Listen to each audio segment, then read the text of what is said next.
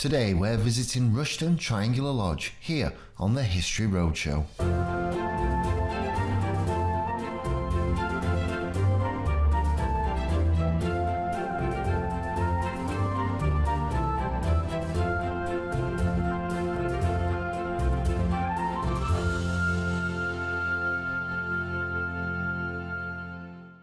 Rushton Triangular Lodge is one of the most extraordinary buildings in England, if not the world.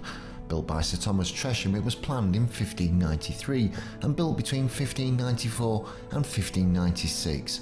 Thomas Tresham was an Elizabethan knight and landowner, and although fiercely loyal to the Queen as head of state, he was imprisoned for his Roman Catholic beliefs, to which this building is a testament. It's dominated by references to the number three, as symbolic of the Holy Trinity. It has three stories and three walls, each 33 feet long, armed with three windows and three gables. The exterior also features trefoils and biblical quotations, together with numbers, some of which remain mysterious in their meaning. It was originally built as a warrener's lodge where the keeper of Tresham's profitable rabbit warren at Rushton could live and pursue his business. Over the entrance door is the Latin inscription Tres Testimonium Dant. This phrase could mean either the number 3 bears witness or Tresham bears witness, however, his wife used to refer to him as just Tres. The triangular lodge is not only a remarkable piece of symbolism, but also skillfully designed and exquisitely crafted.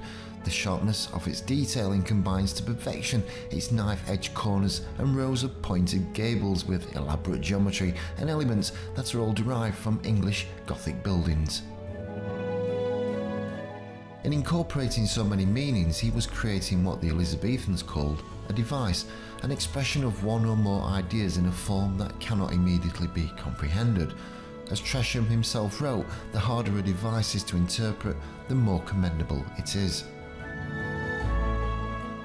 The lodge today stands in a small tree planted enclosure on the edge of Rushton Hall, although originally it would have been on completely open ground. In Tresham's accounts, the triangular lodge is referred to as the Warrener's Lodge. Tresham bred and killed rabbits for a profit, and in 1598 was selling them in London. They were valued for the meat, and the fur was used for trimming clothes. Biblical quotations, each 33 letters long, appear in the frieze above the upper story on each side of the building.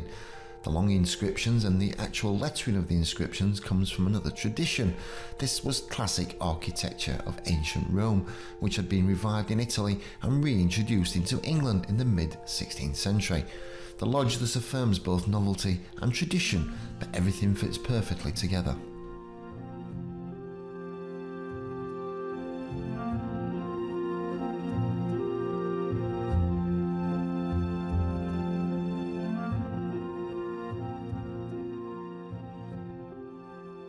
In contrast to the elaborate exterior, the inside of the lodge is very simple. On the lower floor is a plain hexagonal room and small triangular rooms leading off at each corner.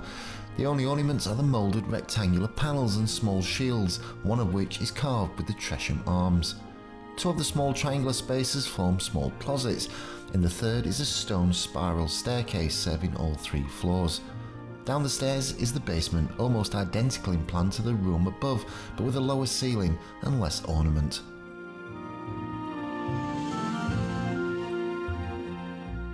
The circular and cross-shaped apertures of the ground floor windows create a striking pattern of light.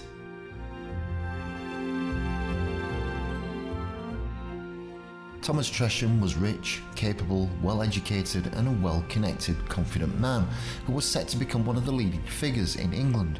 He was knighted by Elizabeth I at Kenilworth Castle in 1575, and with his wife Muriel, who was daughter of Sir Robert Throckmorton, had ten children, four sons and six daughters.